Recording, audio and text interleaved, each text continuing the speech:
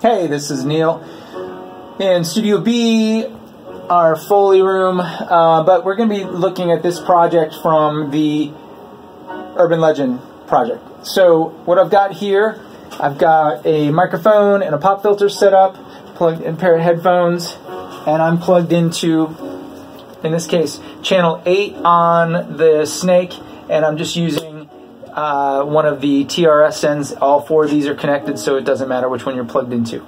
Let's go into the control room. I've got the Toft console. I can see that the VU lights are on, so I know the console is on. I can see the lights are on for the multi-track, and I can see the blue light on the headphone amp, so I know those are on. Those are things that are really important I want to make sure I've got. So let's get my signal. So I'm using a condenser microphone, so I'm going to turn on phantom power and bring up the preamp to just good starting spot, 12 o'clock, 1 o'clock. And I'm going to bring up my fader, and you can see I've got just a little bit of blinking light there, so it probably means I can have some more gain. And I'm going to come over here, create my new song. New song, create new song, new song, number tracks, 8. There's my new song. Song 11 is me, record enable. You can see I've got metering there. Now let's hear it. I'm going to turn my monitor up, bring up my Stereo Master fader, bring up my... There's my music. Troubleshooting things that may happen, the monitor button, the mute button could be pressed. So you'll want to make sure that you look and you can see that's pressed. Make sure none of these are pressed. Notice none of these are engaged. Okay.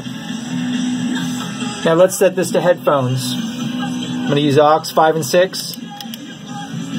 Aux 5 and 6 to mon button. Bring this up. Come over to my aux masters, turn those up to about 75%, about 3 o'clock, and there should be signal in my headphones. My client out there can tell me where what they're hearing. This is the little remote control that goes with that in Studio B. You can see I've got stop, play, and record. So if I want to record, I hold record, hit play, and I can see that it's metering over there, and there is a solid, and that's lit up. So that's letting it's record. When I'm done, I can hit stop, and there's a locate zero, which will be take me back to the beginning, or I can just hit rewind, but it'll take me back to zero. And you can see it takes me back to zero, or I can use the controls here.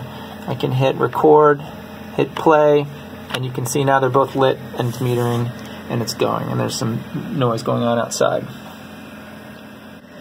You can see with the little note here, mix A is Toft, mix B is Pro Tools. These can just sit at 12 o'clock in the middle and not need to be manipulated. So they're 12 o'clock, and then we just leave those volumes up, and we'll control the headphone volumes through the aux masters on the analog. So if someone, someone wants less volume in the headphones, you can turn it down. Probably at the channel is probably the easiest way.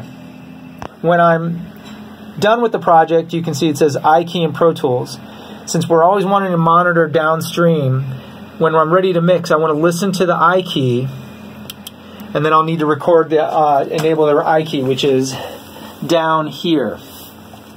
So you plug your flash drive in there, hit record, and you'll see the metering there. And you also have uh, headphone amp. Uh, you can listen on that, and you can see that the power is on for that. Speakers should be on. Little power light lets me know that the speakers are on, so that's good. Make sure those are on. Leave everything on when you're done. You'll notice there's no patch cables that are required for this project.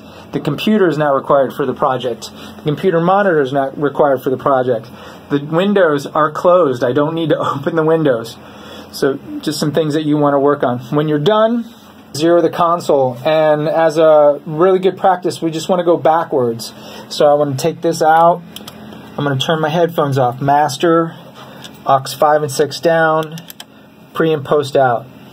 I'm going to go take my multi-track out. I'm going to turn my monitor level down, stereo master fader down, uh, control monitor volume. Take that button out, and then I'm going to do my fader, and then my preamp, and then my phantom power. Now I'll go disconnect the microphone. So that's a really good practice as well. If you're having trouble, don't forget you could call the stu- text the studio managers, and they can help you out also hang up your cables and headphones and pop filter there, put your microphones away, and return the key to the lockbox.